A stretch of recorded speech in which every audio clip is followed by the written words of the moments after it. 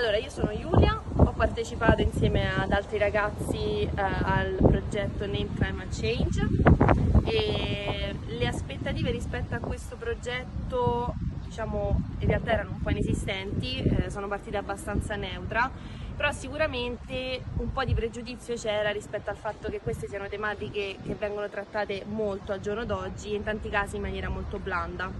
e soprattutto perché comunque il tema è molto ampio, quindi si tende a volte a banalizzare, a generalizzare troppo. In questo caso invece secondo me un punto forte del progetto è stato focalizzarsi sulla tematica, sul legame tra il cambiamento climatico e le migrazioni, che è qualcosa di cui non mi ero mai interessata prima e quindi sono partita con questa curiosità e sono rimasta molto contenta perché comunque abbiamo affrontato eh,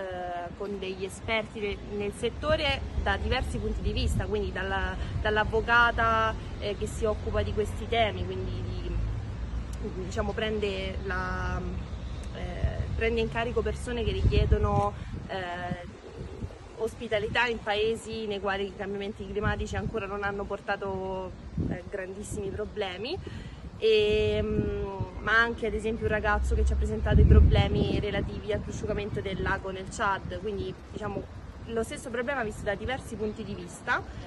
E senza contare che poi ho trovato ragazzi molto interessati a questi temi, cosa che non mi aspettavo, quindi il gruppo ha lavorato molto bene sia nella realizzazione pratica delle fotografie che nelle attività più teoriche e poi è stato comunque interessante lavorare con un, foto, un fotoreporter professionista, quindi fare sia delle lezioni un po' più teoriche sulla fotografia che uh, un po' più pratiche proprio su come effettivamente realizzare gli scatti de, che poi verranno esibiti nella mostra.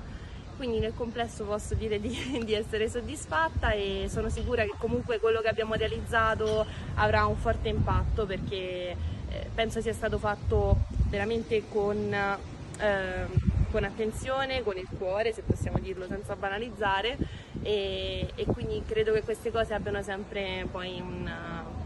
un, un potere su, sulle persone che le vedono.